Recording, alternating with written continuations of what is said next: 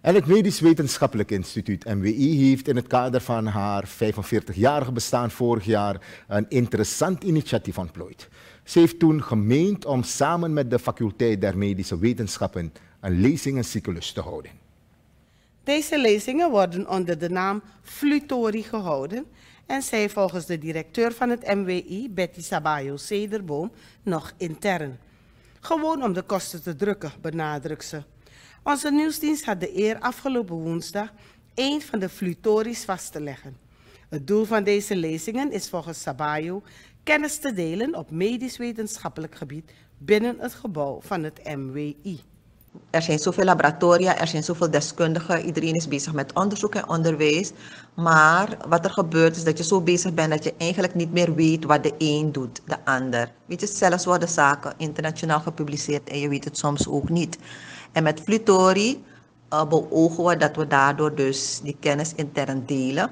Maar niet alleen dat, dat we ervoor zorgen dat alle medewerkers vanaf de huishoudelijke dienst tot en met de wetenschapper zo ook een beetje inzage krijgen in wat er allemaal gebeurt binnen dit gebouw. Deze editie van Flutori is verzorgd door de hoogleraar Jan van den Twil. Zijn lezing was getiteld From Magic to Molecule, de geschiedenis van de geneeskunde. Professor Van den Tweel is toevallig in Suriname om gastcolleges te verzorgen voor het vak speciële pathologie. Het MWI en de medische faculteit hebben van de gelegenheid gebruik gemaakt om hem te vragen deze lezing te verzorgen. Van den Tweel gaf onder andere aan dat in de chronieken of verslag van een frater stond dat in het geval van de uitbraak van de ziekte pest de harten van de kippen werden vergeleken met die van mensen die de pest hadden overleefd. En ze hadden gezien dat er bij allebei een purulent beslag op het hart zat. En dat beschreef hij dus. En in die tijd, daar moet dus gewoon een dissectie geweest zijn.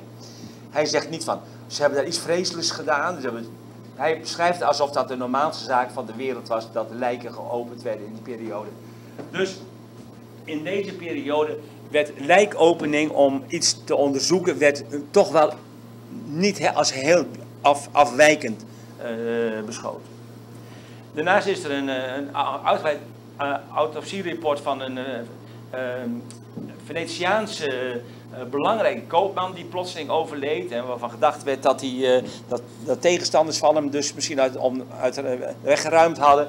En er wordt uitgebreid beschreven, het werd gewoon gedaan en ook dat werd beschreven als, nou ja, weet je, we hebben even gedaan en gekeken wat er was zonder te zeggen van, we hebben iets gedaan wat niet mocht.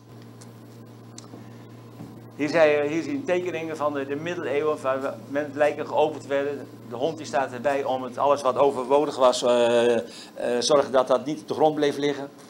Zoals, zo ging dat in die, in die tijd. Alus professor Van den Tweel, die afgelopen woensdag een lezing heeft verzorgd over de geschiedenis van de geneeskunde. De lezing genaamd Flutori is gehouden in het MWI-gebouw.